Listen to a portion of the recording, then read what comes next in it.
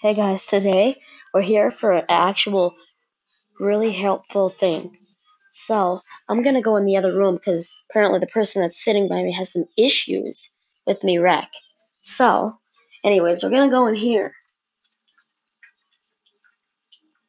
Anyways, guys, sorry about that. This is gonna be a really hard thing. So, there's this way to add channel art on your mobile device.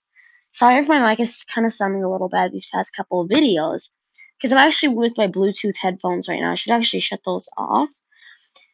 But anyways, see, so we got the profile pic, which is easy to change just from in the Google App settings. I'll do that in this video too. But channel art is the one behind. oh, jeez, is the one behind this. So you guys can see it's the YouTube one. So there's a few steps during this. You guys are wondering why my phone looks so fast. It's a glitch, and I really like the glitch. It's like really, look at that. Look how fast. It's like just insane.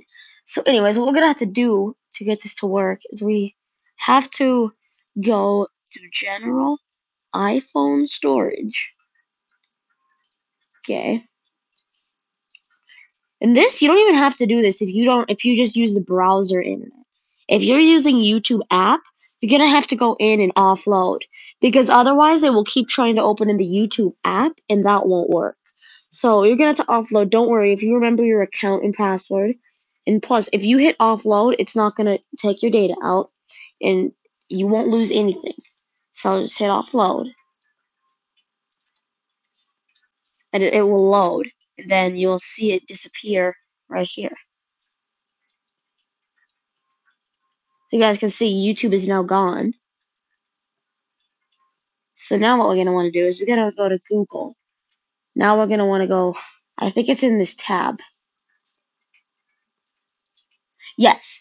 So we want to go to the, to right here. Okay. So now whatever channel you want to change it to, now you want to go to the little three dots in the um, corner. Then hit the desktop button. You'll be redirected um, what? Desktop? Okay, guys, I thought that wasn't going to work for a sec. Okay, so when you're in the desktop, you will have to zoom in. Otherwise, you'll see this will not work. So yes, as you guys can see, it won't work.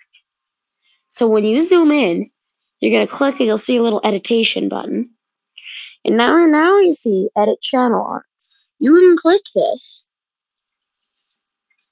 once you've clicked it, you'll be redirected to the channel art page where you can select a photo from your device.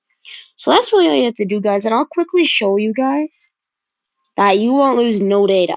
Okay, so I will literally go into the YouTube app.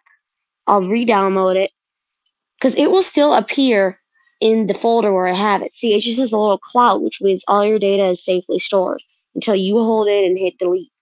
But you just tap the app and it'll start loading. And as long as you've got enough storage on your device, which I do, the app will start downloading. So we're gonna wait for this to the download to go, and we'll see. So basically, that's all you got to do, and then just you can go your photos, which is your Google Photos. You can go to your gallery or their gallery, which is their pictures. Which I don't know why they'd want that first one, but anyways. So we're going out of that now. YouTube's taking a little bit.